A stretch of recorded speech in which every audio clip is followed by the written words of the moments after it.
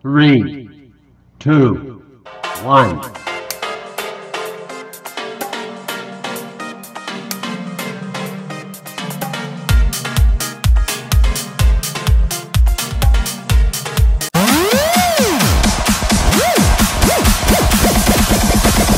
Everybody make some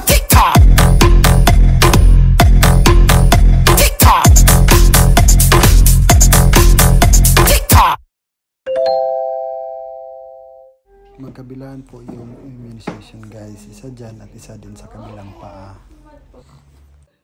Ano nangyari sa mata mo yan, ha? Bakit mo pula yung mata mo yan? Tell me! Tell me! Tell me! Ha? Hi! Tummy time! Hello? Hmm? Hmm? Hmm? Hmm? Hmm? Hmm? Huh? Look at daddy. Ah, and say something to daddy. Yeah, say something. Hmm? Say something. Ay, daddy, bakit ang gwapo mo? Hmm, ang pagkalat. Tahimik na ako eh. Huh? Hmm. Daddy, kailangan mo na magpa-check up. Bakit anak? Lumala yung pagkagwapo mo eh. Ka.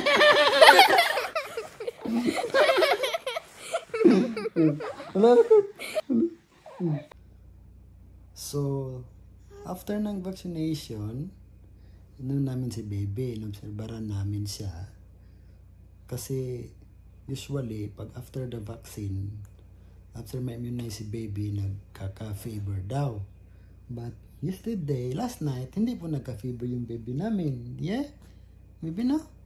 Oh, wala po, wala po siyang fever, thanks God, kasi medyo ano yung metabolism niya, strong niya. So, anong bibigay nating tip diyan, bebe?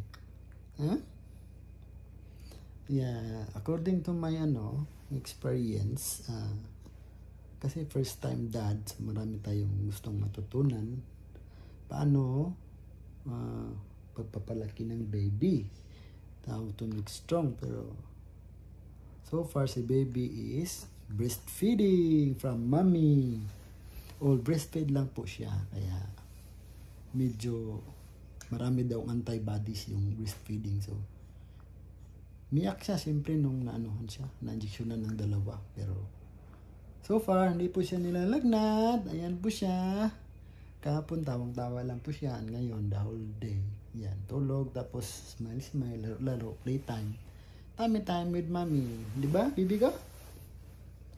Ayan. So, guys, ang ginawa ko po is, kinakausap ko yung anak ko. Kahit hindi po siya na, sa tingin natin, hindi, siya, hindi na niya naintindihan. Pero, naniwala pa ako may instinct po yung mga baby.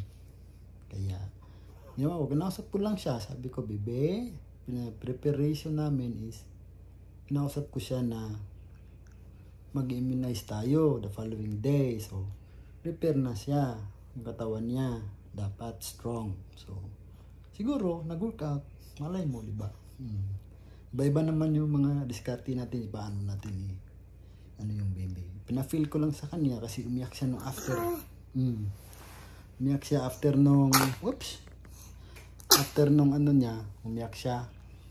Nung tinusukan kasi dalawa magkasabay da sa, sa dalawang paa. Tapos, after nun, hinag ko lang siya. Tapos, yun, di na siya umiyak. Natulog na lang siya.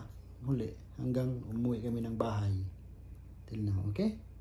Alright guys, thank you for watching and salamat po. Sana i-follow nyo kami sa channel na ito. Bago lang po.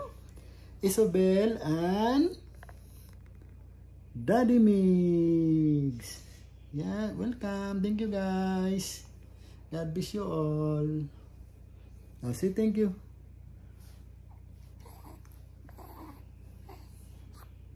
Thank you.